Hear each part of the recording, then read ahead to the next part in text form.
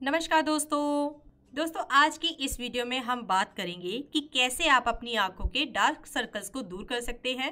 दोस्तों आजकल dark circle की समस्या आम बात हो गई है। यह समस्या आजकल सभी में पाई जाती है।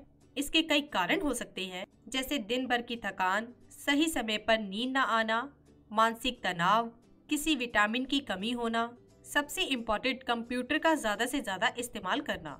दोस्तों, हम आपको इन सभी समस्याओं को दूर करने के उपाय बताएँगे। तो चलिए जानते हैं डार्क सर्कल को दूर कैसे करें। टिप नंबर वन, खीरा हमारी आँखों के लिए बहुत ही फ़ायदेमंद होता है। इसका इस्तेमाल करने से पहले अपनी आँखों को बंद कर लीजिए और फिर खीरे के टुकड़ों को अपनी आँखों के डार्क एरिया पर हल्के हल्के से घुमाएँ। आँखों के कालेपन को दूर करने में खीरा सहायक होता है।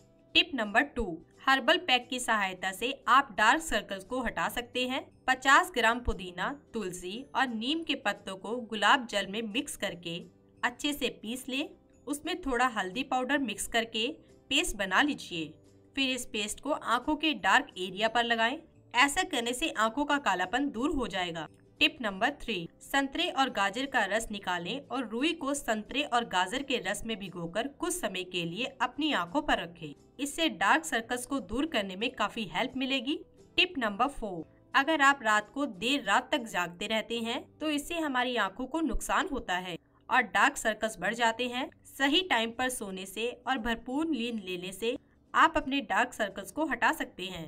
दोस्तों, इन टिप्स को यूज़ करें और अपनी आँखों के डार्क सर्कल्स को रिमूव करें। इसी के साथ ही दोस्तों, अगर आपको ये वीडियो पसंद आया हो तो इसे आप लाइक कीजिए, अपने दोस्तों रिश्तेदारों के साथ शेयर कीजिए और सब्सक्राइब कीजिए। साथ ही साथ बेल आइकन को प्रेस करें ताकि नया नोटिफिकेशन आप तक सबसे पहले पहुँच सके। धन्यवाद दोस्तों।